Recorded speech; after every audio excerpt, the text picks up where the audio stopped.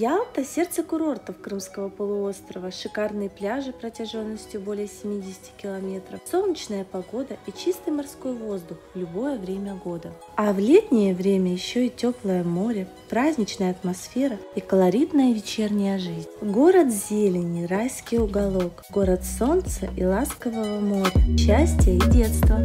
В этом выпуске мы предлагаем вам прогуляться по старейшей из улиц Ялты. Многим приезжим это место место чем-то напоминает променады Ниццы, Монако и Кан. Здесь недалеко расположен Ялтинский крокодиляриум. Пройдя по мосту над рекой, мы попадаем на набережную имени Ленина. Все, как во многих городах, начинается с площади. Здесь стоит памятник Ленину. По бокам установлены две современные колонны.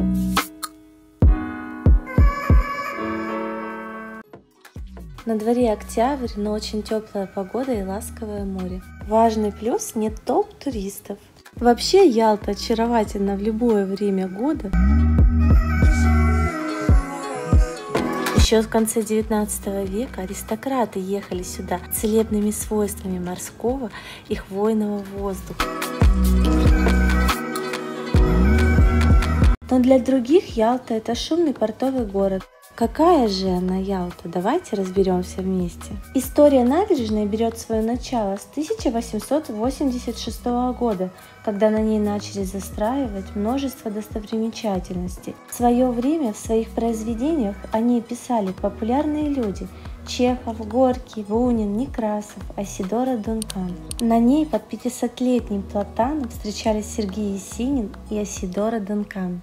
Кроме аристократов, ценителями ее достоинств, всегда были коты и рыбаки. На причале красуются частные яхты, мы видим памятник Розы ветров, который стал символом открытости миру и дружбы. Набережная была спроектирована приподнятой над уровнем моря, укрепленная строительными балками, облицованная порфиритом и красным гранитом.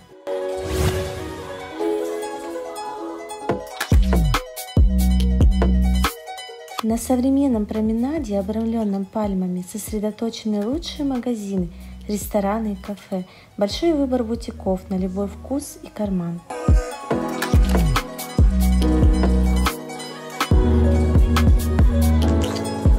Канатная дорога связывает набережную и холм Дарсан. Каждый кусочек территории чем-то заполнен.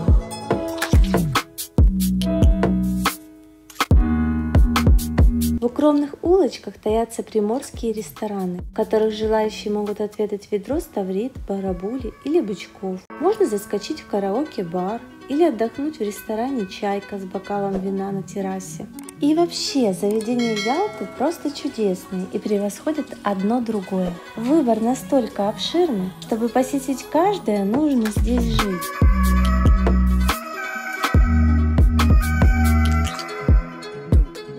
Красивые цветы высажены вдоль заборчика.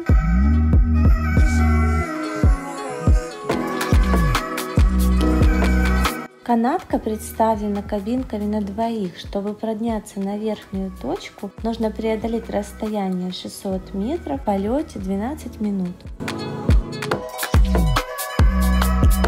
Наверху пассажиров ждет ресторан, видовая площадка, фотопарк Техноарт, Колм Славы, а еще выставка живых тропических бабочек. Стоимость для взрослых 400 рублей, дети с 5 лет 200, дети до 5 лет бесплатно.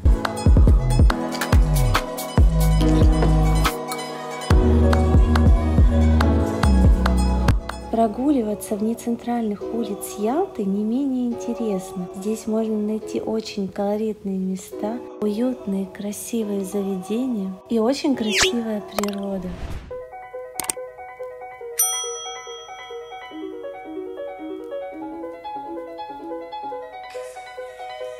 Клуб отель Вилла Елена 5 звезд, один из самых лучших и элитных отелей в Крыму. У отеля есть теннисный корт, поле для гольфа, сауна и прочие развлечения и услуги.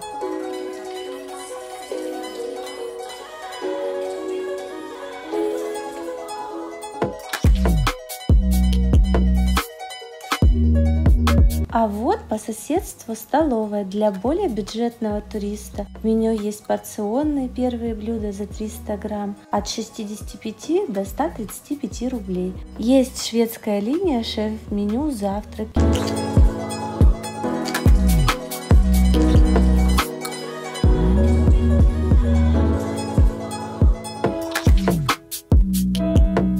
11 апреля 1919 года Ялтинский рейд покинул британский крейсер Мальборо, навсегда увозя в изгнание оставшихся в живых членов императорской семьи Романовых, среди них вдовствующую императрицу Марию Федоровну.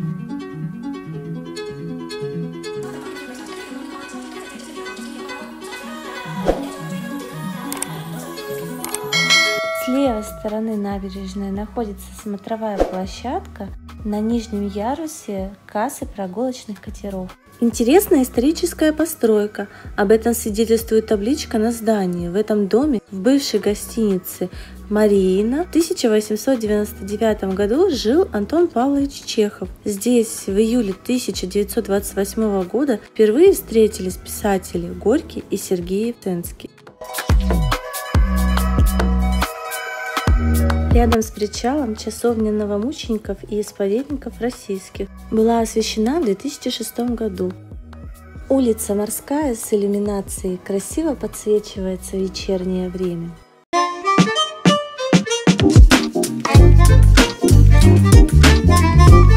Набережное место для творческих людей, деятелей искусства и массовой культуры. По вечерам здесь звучит живая музыка. Скульптура «Дама-собачка» встречает на входе в отреставрированные купальни Рофы, появившиеся в 1897 году. Современный отель-бутик «Вилла София» до недавнего времени принадлежал Софии Ротару. На фасаде из белого мрамора высечена надпись «Будь благословен, как вода».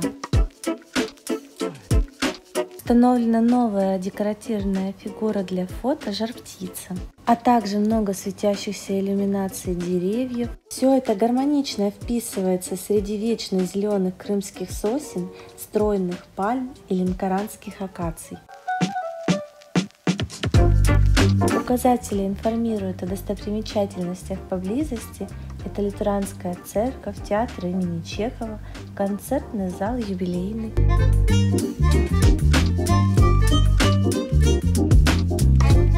Возле клуба кафе «Женева» установлен памятник Краснову.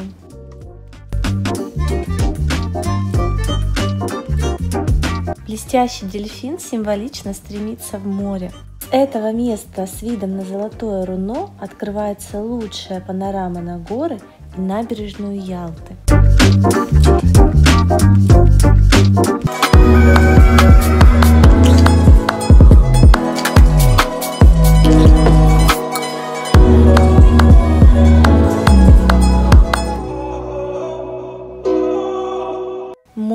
Лазурно-голубого цвета. Здесь берет начало городской галечный пляж.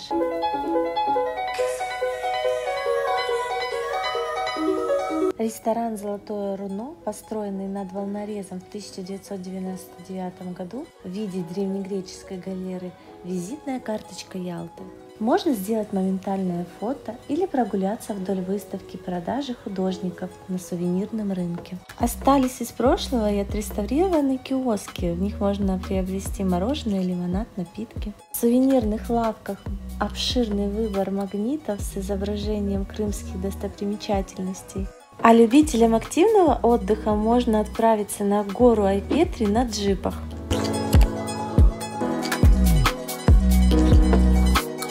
Подошли к обновленной части набережной Приморский пляж.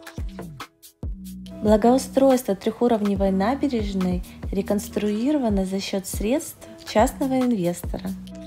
Интересное пространство воплотило в себя лучшие международные и российские стандарты.